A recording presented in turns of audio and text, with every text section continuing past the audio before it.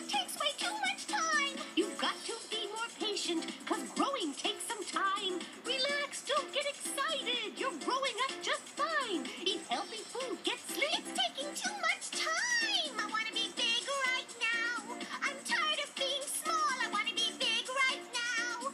Yeah, I want to feel real tall. I want to be big right now. Four feet would be completely fine. I want to be big right now. Growing takes way too much time.